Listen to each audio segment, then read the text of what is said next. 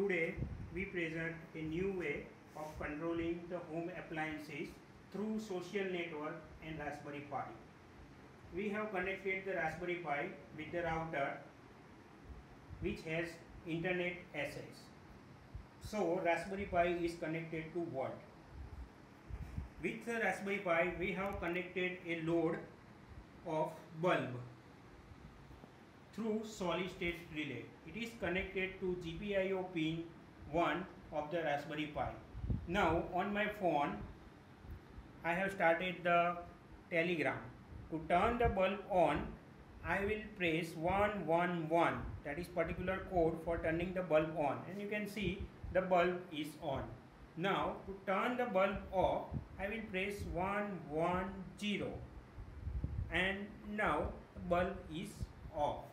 Now repeating the things again 111 and bulb is on the message will be back as the bulb is on and uh, 110 for turning the bulb off.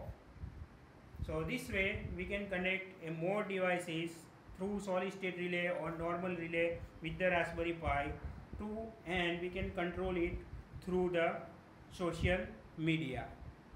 Stay tuned with us. We will come soon back with some new innovative idea. Thank you for watching and for more detail visit our website www.en-world.in